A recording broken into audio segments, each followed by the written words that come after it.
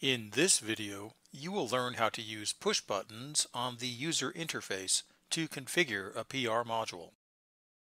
Before entering the configuration menus, you must first acknowledge any errors detected by the module. Here, you can see the module is detecting a sensor break error. SE.BR appears on the display and scrolling help text helps you to understand the nature of the error. Also, the backlight blinks to help you spot an error among a group of products mounted on DIN-Rail. A sensor break error occurs if the sensor has failed, the wrong sensor type is connected to the module, or there's no sensor connected to the module. To acknowledge the error, just press the OK button one time and the backlight will stop blinking. Press OK again to advance to the next menu.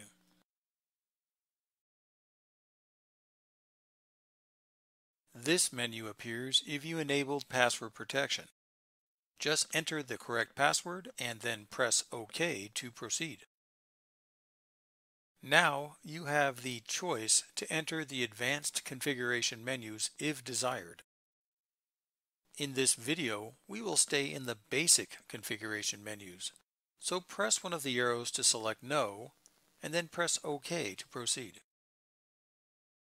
In this menu, select the input signal type measured by the module. Just press the arrow buttons to select the signal type, in this case a temperature input, then press OK. Now, select the specific kind of temperature sensor the module will measure. A platinum RTD is shown on the display, but I want to measure a thermocouple.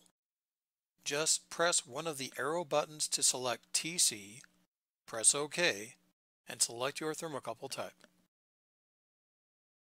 This animation clearly shows how to navigate.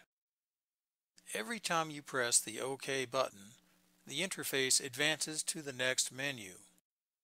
Press one of the arrow buttons to make a selection, then press OK to advance. After configuring the last menu, press OK and the word Wait appears. The interface downloads your configuration into the module and then returns to operational mode.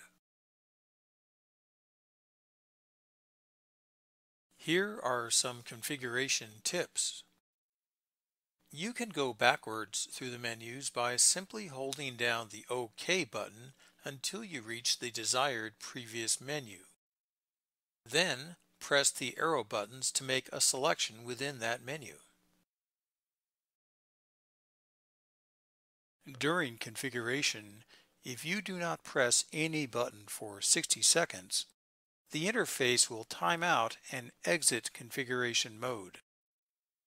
If this happens, your configuration changes are lost and you have to start over. If you are configuring a module and 60 seconds of inactivity is approaching without a button press, you can reset the interface timer by simply pressing one of the arrow buttons. In the routing diagram, each menu has an associated text number. For example, this menu has the reference text 12.